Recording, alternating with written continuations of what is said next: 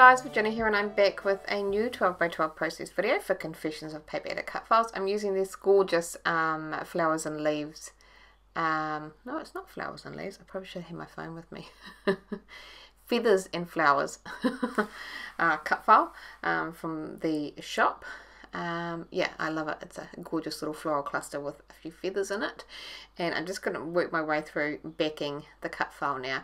I'm using a Hip Kit Club kit I'm not sure what month it was. It was that really kind of boho themed one, which goes perfectly with this um, cut file. And there was a gorgeous floral um, print on that blue background, which matches, coordinates with the dress that Addie's wearing in the photo. She's got a blue dress with um, lots of flowers on it. So, yeah, so the photos are of Addie and Eva. We were at Church Road Winery, which is just next door to us, um, having lunch for Eddie's birthday. Sounds a bit weird going there for a, a, kid's birthday. Uh, but we did that, and um, my, her, my stepfather's birthday is the day before Eddie's. Um, his is on the 7th and hers is on the 8th. So um, we did a little joint little lunch for them. So hence why we went to the winery. um, it was really nice lunch, little family lunch. Um, and then of course we had a little party as well for Eddie's. But yeah, um, so I've gone ahead and I've backed that cut file. I did a little pattern paper mat behind each of those photos. And I've chosen my background pattern paper. It's this really like kind of sandy yellow uh, pattern paper and it's, it's almost like a dream catcher kind of design on the background which just again goes perfectly. So I'm going to work my way through embellishing now. Um, this is my first time using this kit. I think it might actually be the only time I've used it. Um, I really loved it when I saw it and I got it home and actually kind of struggling of how to use it. Perhaps I'll get it out for some more summer layouts. It's a very, very nice kit. Um, but yeah, a little bit different. Okay, so looking through one of the die cut packs, I know that there's some feathers and some really pretty little bits, so I'm just sifting through, pulling through out some leaves, um, a little feather, just trying to kind of tuck some bits and pieces in that cut file. And you can see that I didn't back every bit of that cut file. I just did the main bits, the two feathers and the flowers, and then those leaves I've just kind of left white on their own. Um, I didn't feel the need to kind of back all those little bits. You totally can if you want to. Um, okay, so moving on from the die cuts, there's these acetate, I guess they're kind of like mandalas and doilies. I tried this blue one, but it just kind of seems to take away from um, the rest of the page and that gorgeous cut file and my photos so decided to leave that off. Um, there's some wood veneer there which I like the idea of because it's a very earthy kind of page. Um, oh I haven't done the photo mats yet. Sorry I thought I had.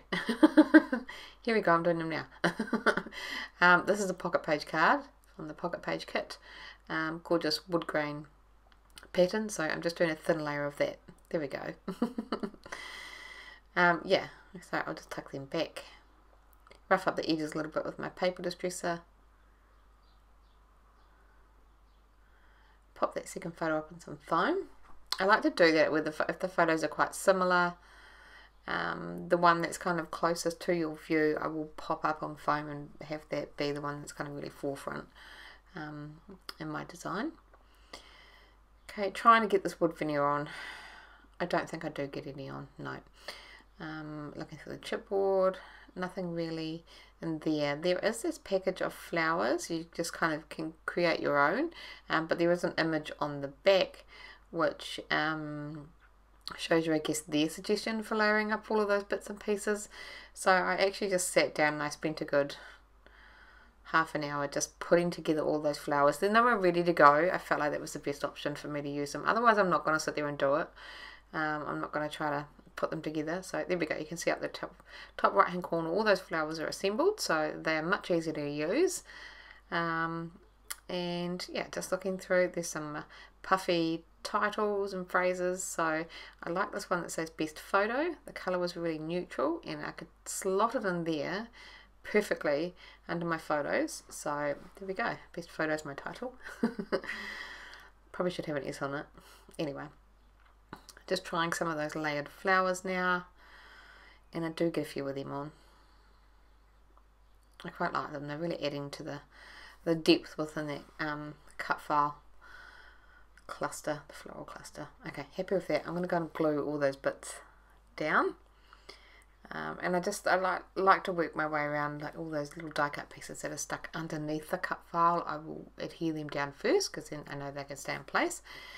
If there's larger pieces on top of my cut file, I'll take them off because I know where I can easily put them back. But if there's lots of smaller bits, then I will just take the time to actually glue them down or adhere them on top of the cut file. And then I will flip my cut file over and pop um, adhesive on it and then pop it in place. So everything's just kind of easily put back together.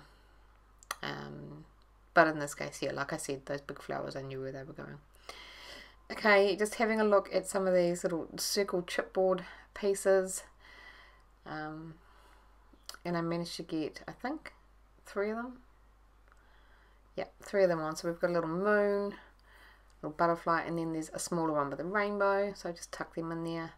Again, I really struggle with circle pieces, but I felt like I could make it work on this because there's lots of circular pieces inside those um, die cut. Are they die cut layered flowers? um, a couple of stickers.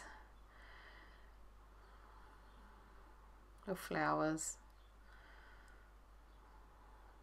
I'm still umming and ahhing over those chipboard pieces. And there we go, get that butterfly up there. I've just shuffled that around. I'm going to take off that moon. Yeah, that's gone. Um, and just pop that other sticker butterfly up the top. and I think that's it for my embellishing. I'm just going to add some white Liquitex acrylic ink splatters over that pattern paper background. I really love the detail that this adds. It's just adds that kind of sprinkling of whimsy over my background and then I do come in with some clear kind of iridescent sequins and just sprinkle them around again adding a bit of whimsy and a lightness to the page little pops of interest um, but then after that that's pretty much it for my layout. So I hope you enjoyed the process. Um, if you haven't checked out the floral cut files in the shop make sure you do. Um, there's a whole section. If you look under um, in the shop you can sort by sections and um, there's just a ton of florals in there. So many gorgeous floral cut files. Um yeah. So until next time. Bye guys